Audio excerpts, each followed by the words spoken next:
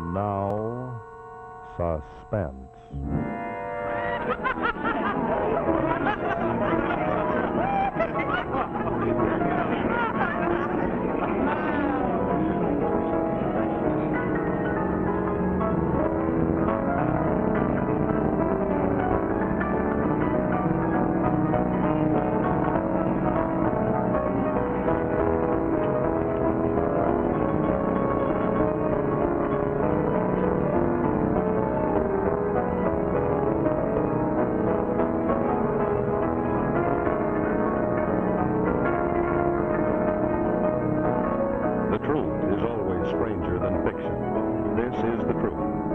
a story that actually happened in London over 40 years ago. The names of the people involved have been changed, but still, it is all true.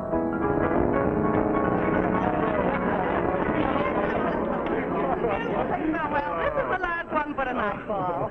I was just beginning to like this one. Woman, you're cruel. Sorry, but it's late, old boy. It's late.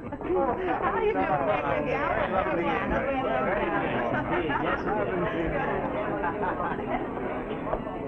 Henry?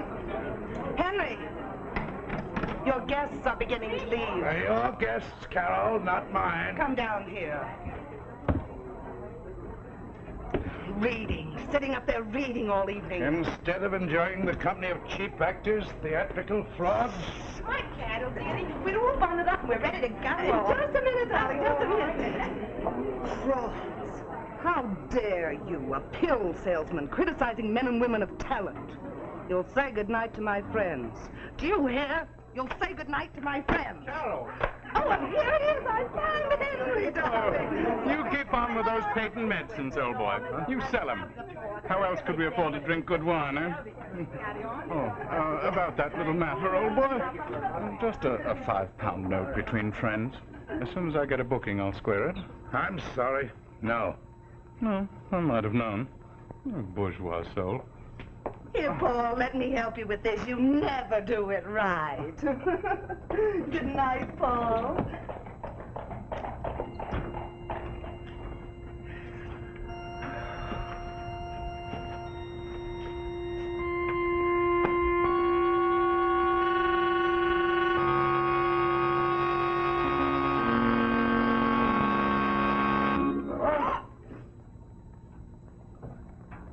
Why? Miss Stone. What in the world? There were some papers you forgot to sign in the office, sir, so I brought them over. Have you been here long? About two hours, sir. Two hours? Yes, sir. Mrs. Brown told me to wait. Carol? Oh, I didn't mind, Now, sir. It's just that I haven't had any supper. Oh, I see you found your little secretary. Why didn't you tell me Miss Stone was here? Why, I wouldn't think of disturbing you in the study. Let me have the papers, girl. Thank you. Good night. And you better button up your coat. It's bitter cold outside. Wait, Miss Stone. Here. Here's a pound note for your fare. Oh, Get but. I, I don't need this. Now, please, please, take it. Good night, Mr. Brown. Good night. Good night.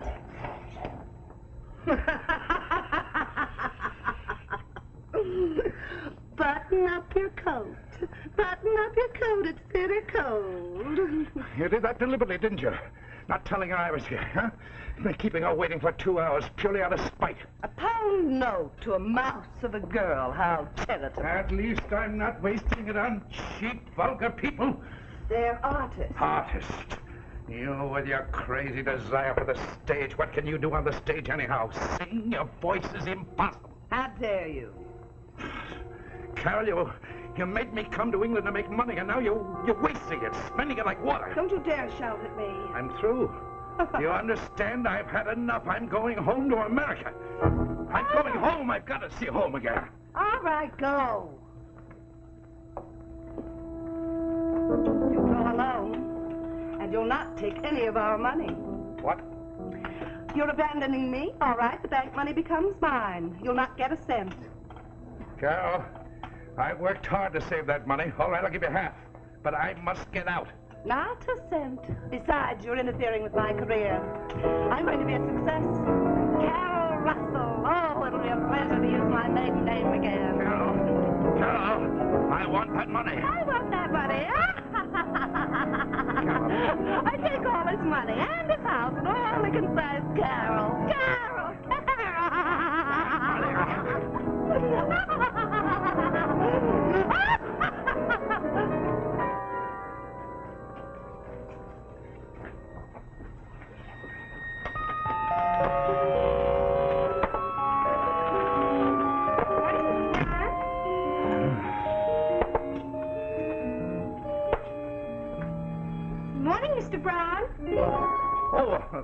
Morning, Miss Stone. Here's the money that was left over from last night. The cab was only five shillings. Thank you. Cab? Oh, oh, yes. Yes, did you get home uh, all right without uh, any Oh, trouble? yes. Uh-huh. Didn't catch cold? Oh, no, I'm fine. Yeah, but still, this was for your dinner. Oh, there was supper waiting for me at home. I couldn't waste that. Was exciting though riding in a hansom cab. The driver was such a funny man. Treated me like I was a member of the royal family. You sound very happy. Sound like a sparrow in the morning still. you know, Miss, Miss Stone, I do owe you for a dinner. Would you settle for a lunch with me sometime soon? Oh, but you're a... You're a... A married man? Oh. Look at me, Miss Stone. Do I seem different? Mrs. Brown and I separated forever last night. Oh,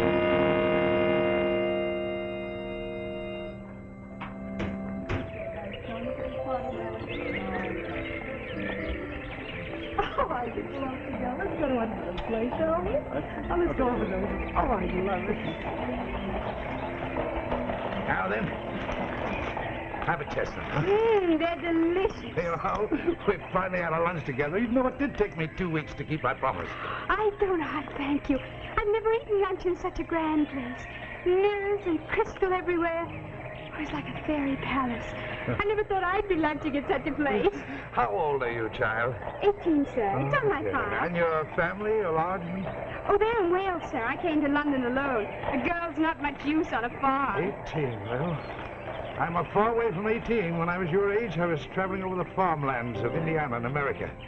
I can still remember the wheat fields, yellow and swaying in the wind. Oh, that's a time of...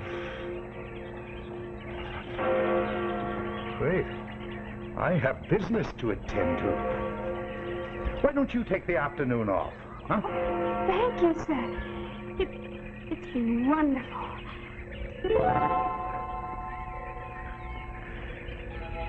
You're a dear.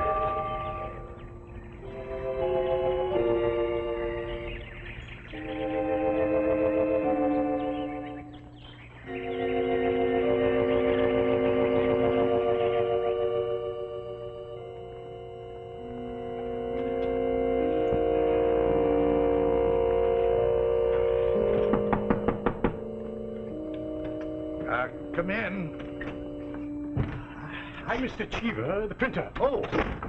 I brought the sample, sir. What sort of cards do you want? Uh, business, marriage, personal? Uh, mourning cards. Oh, a death announcement, yes. We have some beautiful ones, sir, with angels and wreaths. Well, uh, a plain card with black borders. That'll serve the purpose. Of course, sir. And the uh, words on them, sir? Yeah. Mr. Henry Brown sadly announces the unexpected passing away in America of his beloved wife, Carol Brown. Yes. Make me up 50 of them. Very good, sir.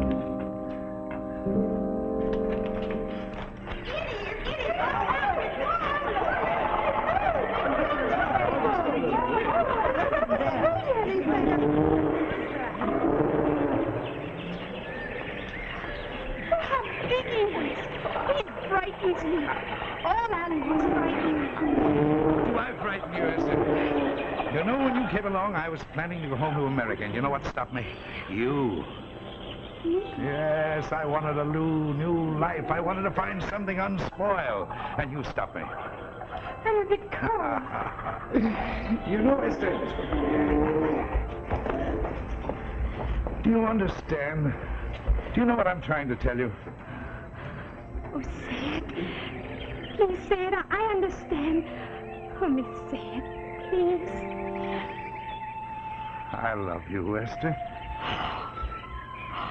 Oh, everything could end right here. I could die now. Die now. Mr. Brown. I thought I recognized you. Mr. Uh, this is Miss Stone, my secretary. Pleasure to meet you, Miss Stone. Dr. Brown is showing you the London Zoo, eh? Oh, by the way, Henry, I was terribly shocked to hear of your wife's death. Death? I guess I thought everybody knew. Cards were sent out. It happened in America. Ah, yes, she was visiting relatives. Well, Carol was a wonderful woman and friend. I must leave you two to your little pleasures. Good afternoon, Miss Stone. She's dead. Why didn't you tell me? She's not. But the gentleman Now. Esther. Esther, please, now you listen to me.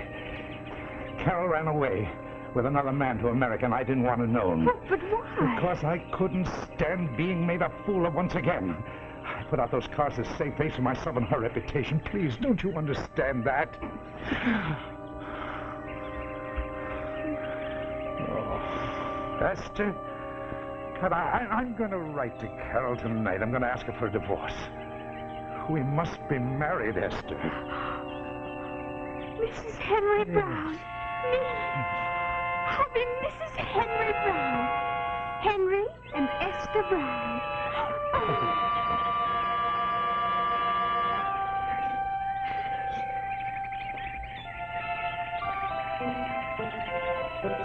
Who's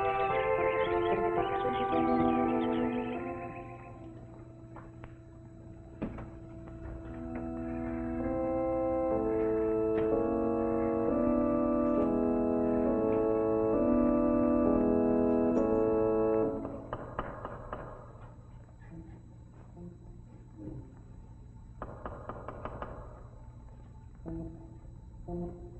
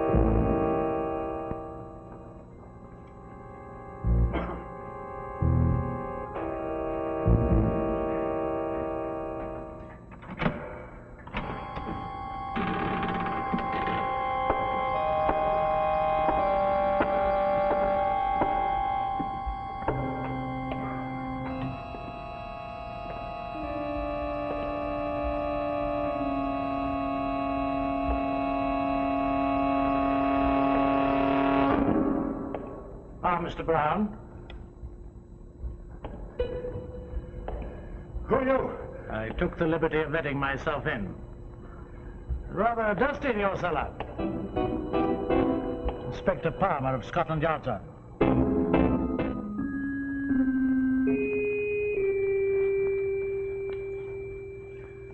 Gloomy places, cellars. Uh, Mr. Menard came to Scotland Yard this afternoon. Menard? Yes. Do you know him? A music hall performer, a magician who pulls interesting things out of the air. A close friend of your wife's, he told me. Oh, this visit is regarding my wife? Your wife died unexpectedly in America, I understand. Yes. What was it, sir? The American climate? See here, you have no business coming here questioning me. Yes, my wife died unexpectedly. Is there anything unusual or peculiar about sudden death? Mr. Brown, earlier this evening I talked to a number of your late wife's friends. It seems uh, she disappeared suddenly. Three weeks later, they learned she was dead, but your own secretary didn't know it. The young lady you hold hands with, it seems. Uh, Mr. Millard thought it very peculiar. All right, all right. Must I admit it? Must I reveal myself as a deceived husband? Yes, my wife ran away to America with another man. I sent out those cards to save my face and her reputation. Now you know it. Oh, I see. Yes. So that's the story. Yes. It's rather sordid, isn't it? Well, I'm sorry if I put Scotland Yard to any trouble. Very sorry. Could I get you a drink, Inspector? Hmm? Uh, no, no, no, thank you. After all, a man has feelings, sensitiveness. Do you mind if I come back tomorrow? What for? Well, since everything is explained, the formal report can wait until then. Oh, I see, yes, of course. Come back tomorrow. I'll say good night then, sir. Good night.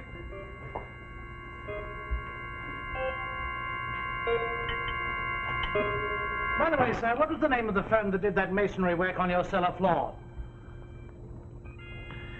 What? The firm's name that worked on your cellar floor. Oh, uh, uh, uh, Stevens. Yeah, that's it. Stevens. Oh, I see. Good night, sir. See you at 10 o'clock tomorrow. Night.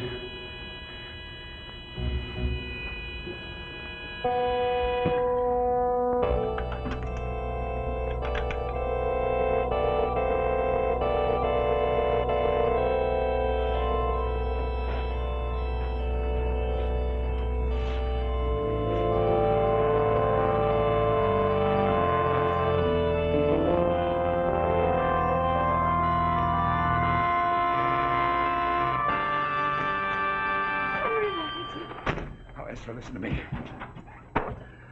I've heard from Carol. She wants a divorce and she wants me to come to America immediately. Esther, we can be married. We've got to start tonight. Tonight? Yes. Yes.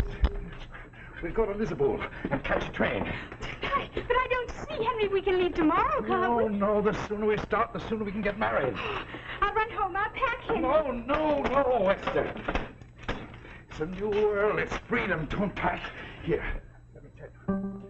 Aboard ship, we can't be recognized. It might mean scandal. My clothes. But I'll get you new clothes, different clothes. I'll get them in Liverpool. Come on.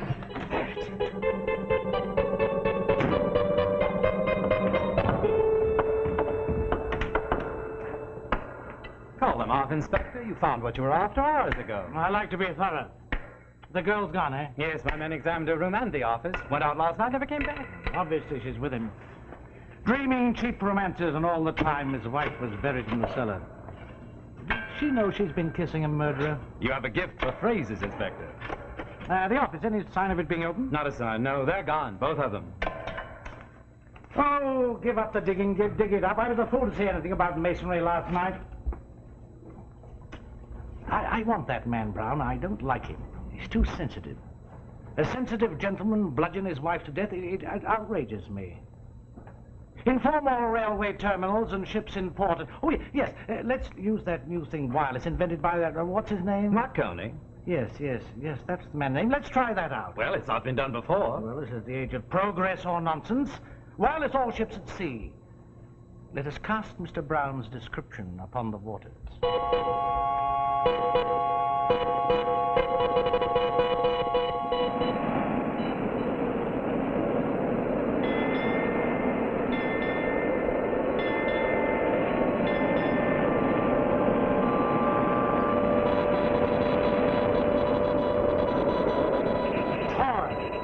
Child's toy. A thousand pounds wasted on this new wireless invention and it can't even reach the Canadians. Day up from Quebec and a whaleboat will bring in a master message.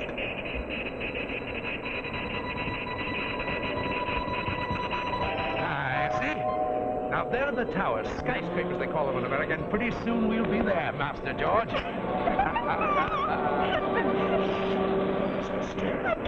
I can't help it. It's so funny. The stewards, the waiters, even the captain calling me Master George, and me calling you Father.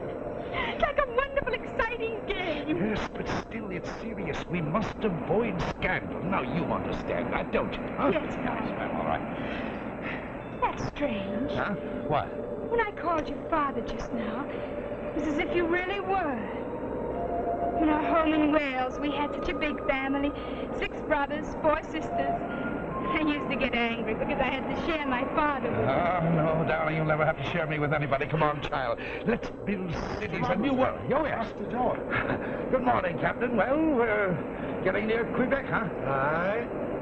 Dominoes, eh? Yeah. I'm building castles for the lad. Oh, no, it's New York Harbor, Captain. Skyscrapers, the Americans call them. Have you ever been there? Many a time, young master. Oh, George, he's a sea captain. He's been all over the world. Aye, and seen many a thing. But you're the first of Europe. All kind? Aye. Such a closeness between father and son. Oh, it is a touching thing. Thanks, lad. The pilot boat. Oh, we're pulling in at any time. They'll guide us in. Oh, yes, yes. They...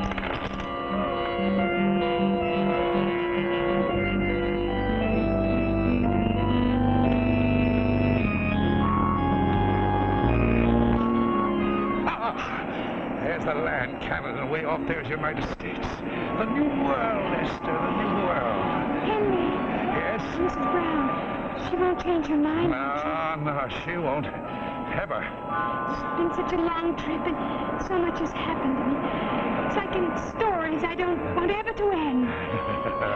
There'll be no ending to this story. In fact, it's just beginning. Like having things that belong just to me. They're mine. A house, a. Henry, we'll, we'll be happy. Oh, we'll be unbelievably happy. See, even the gulls know it's a new world. See how they soar and fly. Yes. In one hour. One more hour, Esther, and we'll be free. Mr. Robinson, Yes? somebody here to see you. What? A gentleman, all the way from England.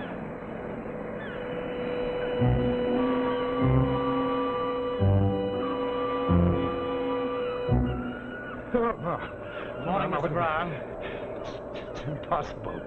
The good Captain Drummond recognized you from this wireless description on Wired Liverpool. I caught a fast boat and got here only yesterday. What is it, Father? What is it? Father, better give up the disguise, Miss Stone. Mr. Brown is wanted for the murder of his wife. We found her body buried in the cellar of his home. Esther, Esther, oh, please. Please. I'm sorry, child.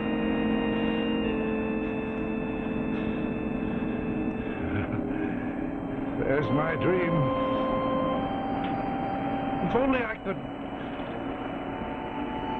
step on that land. If only I could put my foot on it once again. Come along, sir.